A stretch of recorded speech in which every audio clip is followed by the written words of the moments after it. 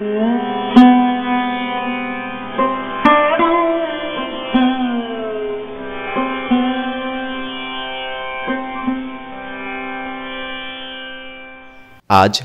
March দুই হাজার চব্বিশ খ্রিস্টাব্দ, আঠাশ ফাল্গুন চোদ্দশো তিরিশ বঙ্গাব্দ এবং এক রমজান চোদ্দশো পঁয়তাল্লিশ হিজড়ি।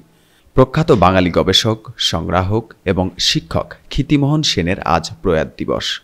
উনিশশো ষাট সালের আজকের এই দিনে তিনি পৃথিবীর মায়া ত্যাগ করেন। ক্ষিতিমোহন আঠারোশো সালের দুই ডিসেম্বর ভারতের কাশীতে জন্মগ্রহণ করেন। তার পিতার নাম ভুবন মোহন সেন, যিনি একজন ডাক্তার ছিলেন। ক্ষিতিমোহন কাশীর কুইন্স কলেজ থেকে উনিশশো দুই সালে সংস্কৃতে এম এ ডিগ্রি লাভ করেন। এ সময় তাকে শাস্ত্রী উপাধি দেওয়া হয়। তিনি উনিশশো সাত সালে তৎকালীন চাম্বারাস এস্টেটের শিক্ষা সচিব হিসেবে কর্মজীবন শুরু করেন। উনিশশো আট সালে রবীন্দ্রনাথ ঠাকুর তাকে শান্তিনিকেতন ব্রহ্মচার্যশ্রমের অধ্যক্ষ হিসেবে যোগদানের আহ্বান জানালে তিনি এতে সাড়া দিয়ে অধ্যক্ষের দায়িত্ব গ্রহণ করেন। উনিশশো তিপ্পান্ন থেকে চুয়ান্ন সাল পর্যন্ত তিনি বিশ্বভারতী বিশ্ববিদ্যালয়ের অস্থায়ী উপাচার্য হিসেবে দায়িত্ব পালন করেছেন।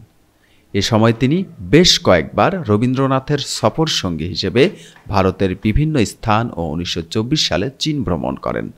রবীন্দ্রনাথ সম্পাদিত one hundred poems of Kabir বইটিও তার সংগ্রহ অবলম্বনে রচিত।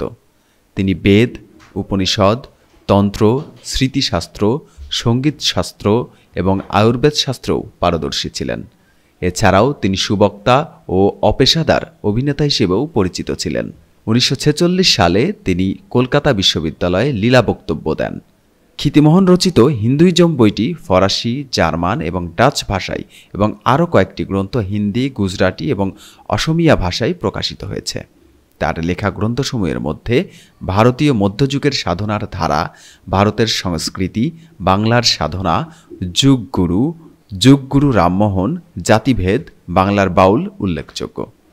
পুরস্কার ও সম্মাননা স্বরূপ তাকে বিশ্বভারতী থেকে রবীন্দ্র স্মৃতি স্বর্ণপদক ও প্রথম দেশিকোত্তম ওয়ার্ধার হিন্দি ভাষা প্রচার সমিতি থেকে মহাত্মা গান্ধী পুরস্কার, প্রয়াগের হিন্দি সাহিত্য সম্মেলন থেকে মোরারোকা পুরস্কার এবং কলকাতা বিশ্ববিদ্যালয় থেকে সরোজিনী বসু স্বর্ণপদক প্রদান করা হয়।